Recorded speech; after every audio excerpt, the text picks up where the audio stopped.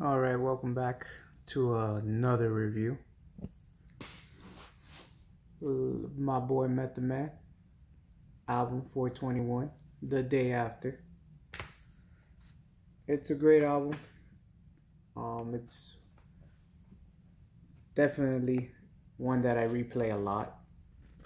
Um, it, it, after his third album, he got a lot of criticism for not being good, not being, not going down his roots and I'm trying different sounds and music. Basically the the pop version of Method Man. But that album, his third album, Tical, the prequel, it was okay. I, I give that well, that one I'll do a different time, but that one is one of my least favorites, but not that much. There's just only a few songs that I don't like.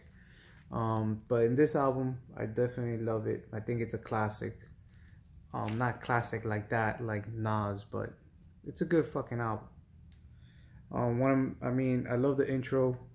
I love how he starts off with bars. Um, the ODB song, that's a great song. Dirty Meth. Um, the song that he has with um, Lauryn Hill it's a it's a great song. I wish um they can collab again.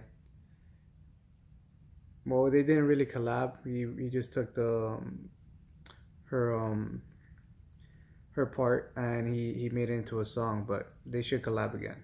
It's, it's he's he's perfect with with um women that have that type of voice um that are that great at at, at singing and R and B and and they're just they're at his level and like Mary J and Lauryn Hill, they're perfect for him. He he should always have a song with them in every album. Um, I love the Glide on um, 420.